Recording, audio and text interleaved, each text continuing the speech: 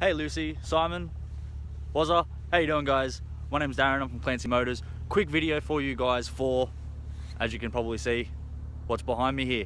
Now I believe it is a dream car if someone wants to get one of these and, well, I figured you can't come up so best I can do is give you a quick video and a quick tour of the actual car.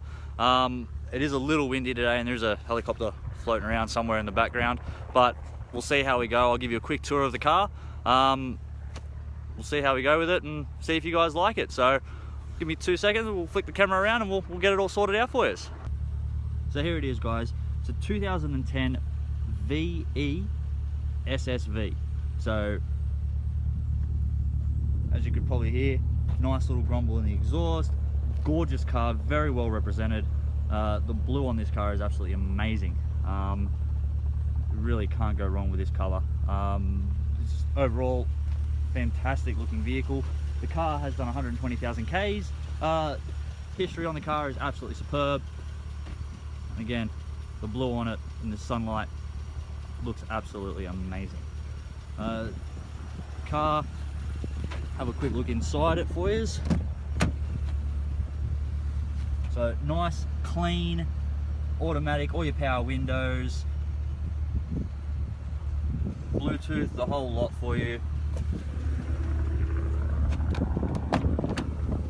Rear of the car, so plenty of room in the back seat. Full leather interior and very, very clean car overall. And again, I believe there was a debate going on last night in regards to satellite navigation. As you can tell, nav button is there, all head units have it on this particular model.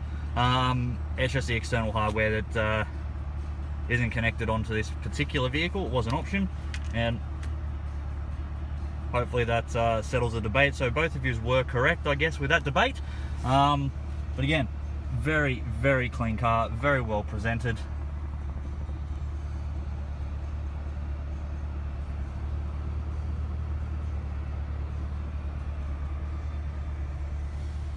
potential driver's seat for someone who's going to be very, very happy.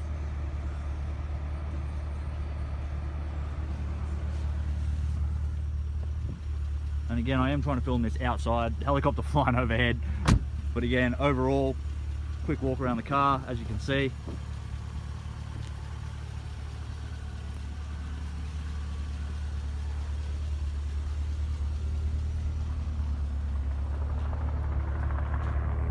tow bar is fitted, active fuel management system, so on your longer drives and your long distance drives it will cut down to the four cylinders.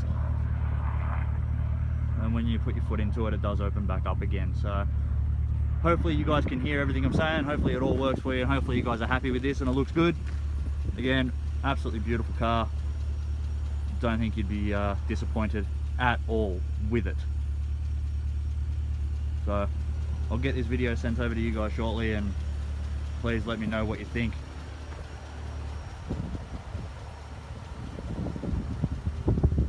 So there you are guys, 2010 VE SSV. So hopefully I'll hear from you soon, we'll talk soon and see how we go guys. Thanks and I'll, uh, again, talk to you soon.